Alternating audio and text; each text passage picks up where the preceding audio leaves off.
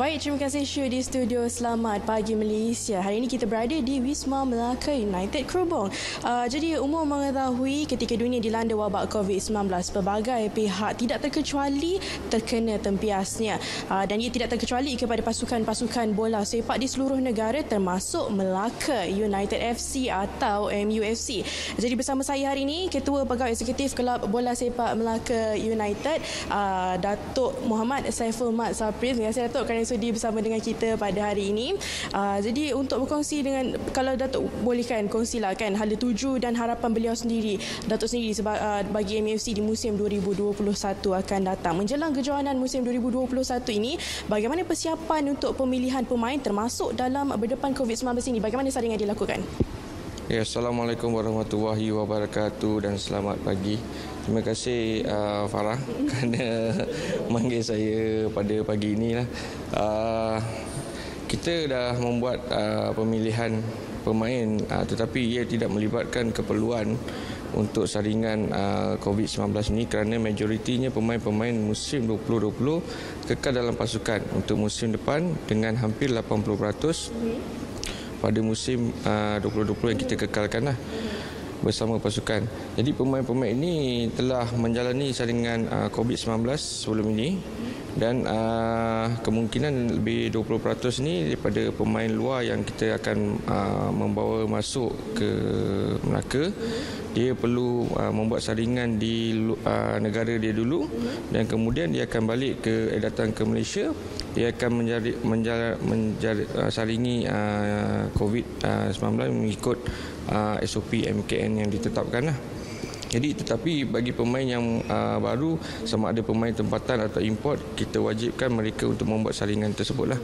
Uh, uh, jadi uh, okey. Okey Datuk, um, pas saringan tu sudah pasti umum kita tahulah kan melibatkan kos kewangan dan sebagainya. Jadi kalau Datuk boleh kongsikan dengan peruntukan uh, MUFC sendiri untuk musim tahun depan. Okey, uh, apabila uh, Yang Mak Berhormat Presiden uh, telah melantik saya selaku uh, CEO uh, MUFC, jadi dia telah memberi garis panduan pengurusan supaya mengurangkan kos yang bagi penyediaan pasukan untuk tahun hadapan lah daripada sebelum sebelum ini. Jadi pemain-pemain yang kita telah tanda tangani pada musim 2021, kita telah maklumkan tentang pengurangan bajet untuk musim depan dan pemain-pemain ini masih uh, bersetuju untuk beraksi untuk Melaka dengan tawaran yang baru yang kita telah mengambil kira saranan yang amat berhormat Presiden untuk mengurangkan bajet uh, pasukan. Tetapi walaupun pengurangan bajet ni uh, kita tetap akan bersaing yang lebih mantap dalam liga lah disebabkan uh, Farah tahu COVID ni uh, seluruh dunia terkesan uh, dan seluruh uh, pasukan yang terkesan akan membuat pengurangan bajet tersebut lah. Apa yang paling penting adalah isu kewangan yang sering melanda Melaka United ini tidak lagi timbul dalam pada masa hadapan itu harapan yang pastilah kan tidak lagi timbul isu kewangan tu kan.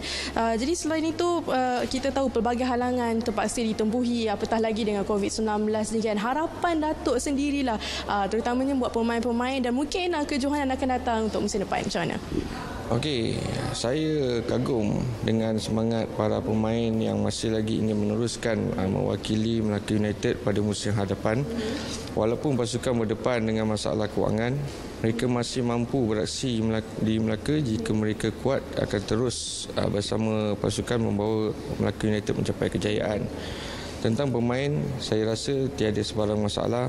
Masalah yang penting kita perlu pastikan gaji dibayar dengan secukupnya dan tepat pada masanya dan kewangan uh, masalah kewangan tidak akan uh, melanda di musim hadapan lah. tentu sekali saya tidak akan mempertikaikan prestasi mereka walaupun kesungguhan mereka mewakili uh, pasukan ia akan menjadi uh, menjaga dan memberikan ke- keungguhan kepada uh, pasukan lah. dan walaupun pemain uh, kita tetapkan tetapi kalau pemain pengurusan tidak uh, memberikan satu KPI yang baik uh, sudah pasti juga uh, pemain tidak akan uh, beraksi dengan bersungguh-sungguh. Hmm. Jadi itu dia perkongsian sedikit sebanyak perkongsian daripada uh, Pengetua Bagai Eksekutif Melaka United FC Dato' Saiful Mat Sapri dan kepada penyokong-penyokong Melaka United teruskan menyokong pasukan hijau putih ini agar mereka dapat terus menggegarkan padang untuk setiap perlawanan yang ada. Saya kira itu saja lintas langsung dari Melaka. Sekian saja Faraudah Sahiran dan kru penerbitan kembali semula ke rakan tugas di studio Selamat Pagi Malaysia. Silakan. Okey, baik. Terima kasih kepada Farah Huda dengan cerita pagi dari Melaka yang berkongsi berkenaan hala 7 MUFC berdepan COVID-19. Kita akan berehat seketika kembali.